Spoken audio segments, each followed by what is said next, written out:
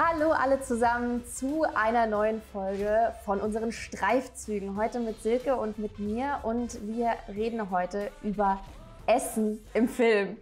Essen im Film, Silke, ich freue mich so krass über dieses Thema, weil es ist mein Lieblingsthema. ich habe wirklich ohne Spaß, schon seit ich ein ganz, ganz kleines Mädchen bin, ähm, habe ich immer wieder, wenn ich Filme angucke oder Serien angucke, immer wieder so weirde Gedanken. Zum Beispiel eine kleine Anekdote. Ich, ich bin gespannt. Ja, ich wollte immer die Dinge essen, die in Trickfilmen gegessen werden. So zum Beispiel ganz klar natürlich der Krabbenburger bei SpongeBob Stammkopf. Aber, oh, natürlich, natürlich. Ja, aber dann auch ein bisschen weirder. Ähm, so Sachen wie zum Beispiel König der Löwen. Timon und Pumba haben immer Larven und Käfer gegessen. Und ich fand Larven und Käfer irgendwann total, gut und habe dann immer, wenn meine Mama uns Nudeln mit Feuerwehrsoße gemacht hat, habe ich dann immer so getan, als wären das die Käfer von Timon und Pumba. Und ich liebe es einfach. Ach, ja. ja, I know. es ist aber so. Jetzt ist es raus. Ja. Und ich, wollte heute einfach gerne ein bisschen mit dir darüber schnacken, was du so äh, für Anekdoten kennst und äh, was du für Filme kennst, in denen dir das Essen so richtig im Kopf geblieben ist. Also eine Szene, die mir im Kopf geblieben ist, an die ich sofort denken musste bei diesem Thema, da sieht man das Essen im ersten Moment überhaupt gar nicht. Also Hook, sozusagen die reale Fortsetzung von der Geschichte des Peter Pan, in der Peter Pan erwachsen geworden ist und dann aber nochmal nach Nimmerland zurückkehrt und ihm fehlt ja erstmal alles. Ihm fehlt ja auch die Fähigkeit zu fliegen, weil er nicht mehr dran glaubt und ihm fehlt die Fantasie und ihm fehlt halt auch die Fantasie bei diesem großen Essen an der Tafel mit den verlorenen Jungs, ähm, sich das imaginäre Essen vorzustellen, weil das Essen wird nur sichtbar, wenn sie dran glauben und wenn ihre Fantasie wieder richtig funktioniert. Und diese Szene, die ich ich habe die als Kind geliebt, ich finde die heute noch großartig, weil halt mitten, äh, ja, also er, er nimmt ja den Löffel und es ist noch nichts drauf auf dem Löffel und im nächsten Moment, wenn quasi das imaginäre Essen fliegt, quasi im Flug, äh,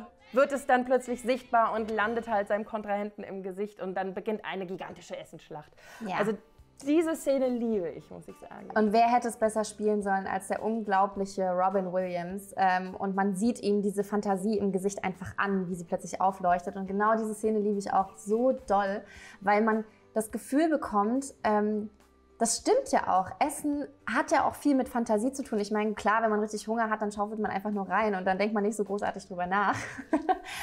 Aber im Endeffekt ist es doch wirklich auch als Kind schon immer so gewesen, dass man, dass man sich auch so ein bisschen was gedacht hat und man ist irgendwie achtsam. Das kommt ja jetzt auch alles wieder. Und, ähm, und ich liebe diese Szene auch unglaublich doll. Ja, mit, mit achtsamem Essen hat die nichts zu tun. Da wird ja wirklich Wahrscheinlich nicht. alles.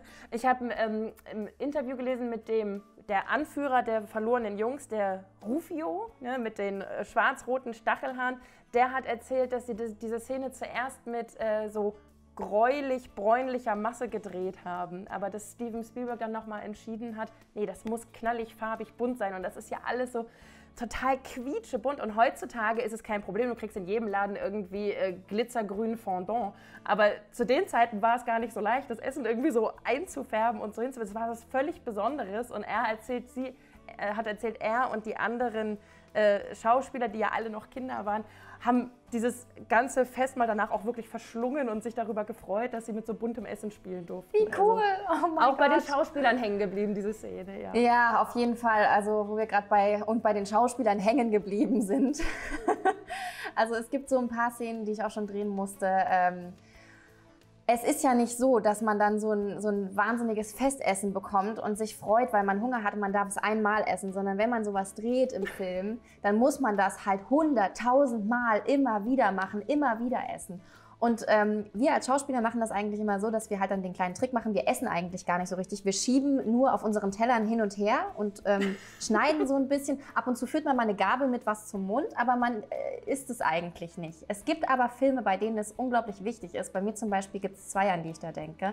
Ich äh, musste in Ehebrecher und andere Unschuldslämmer eine Schwangere spielen die dann zum Beispiel solche ekelhaften Sachen essen musste, wie ähm, ich sollte saure Gurken in Joghurt dippen und das essen oder keine Ahnung, ständig irgendwie Chips und Gummibärchen gleichzeitig und ich hatte so Ich kann bestätigen, auf sowas hat man Lust in der Schwangerschaft. Keine Ahnung, aber es war super eklig.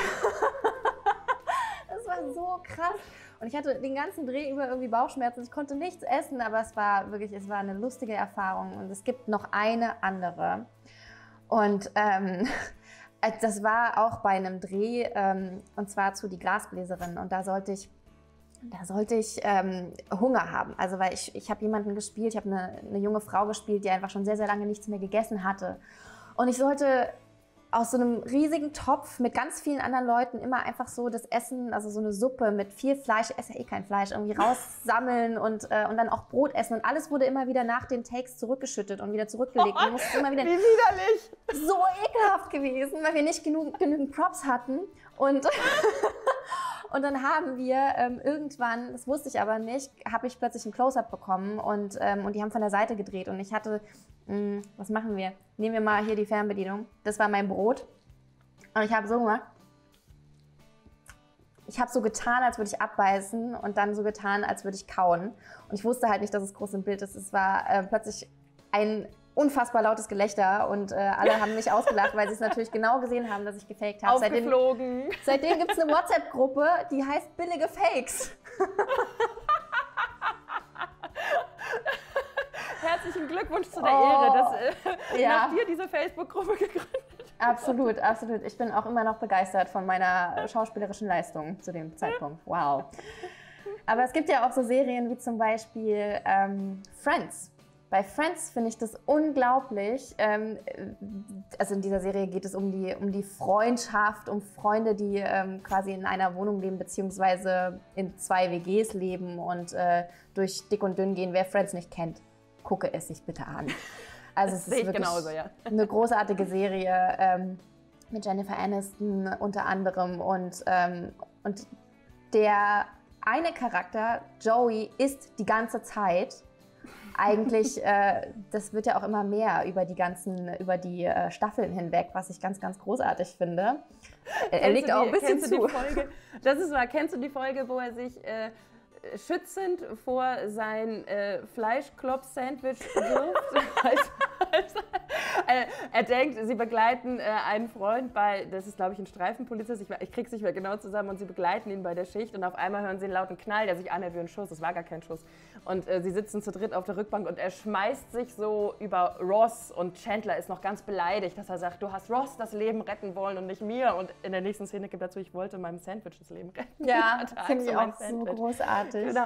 Äh, es gibt ein, es erscheint jetzt ein Kochbuch, Kochbuch. wo das Rezept für dieses Fleischbällchen-Sandwich äh, drin ist und noch 90 andere, glaube ich. Also das kann man alles nachkochen, nachmachen. Es existieren sogar, habe ich geguckt, es gibt jetzt schon äh, Online-Anleitungen, was genau alles auf dieses Sandwich raufgehört. Das Sandwich, das Joey dazu gebracht hat, sich äh, in die, ja, vor eine Kugel zu schmeißen, vor eine imaginäre. Also ja, muss ich auch sagen, großartige Serie und ähm, da, da ist ja auch das Essen so ein verbindendes Element. Die treffen sich ja auch immer wieder und sitzen zusammen an Tischen und essen. Und ich habe mich da immer gefragt, bei der Serie, aber auch bei anderen Serien, bei Big Bang Theory, wo es auch immer darum geht, eine Gruppe von Menschen sitzt zusammen und isst gemeinsam, habe ich mich immer gefragt, und vielleicht kannst du mir das beantworten. Was passiert mit dem ganzen Essen? Immer wieder sitzen die vor so viel Essen. Du hast jetzt eben schon gesagt, ihr hattet nicht ja. genug Requisiten.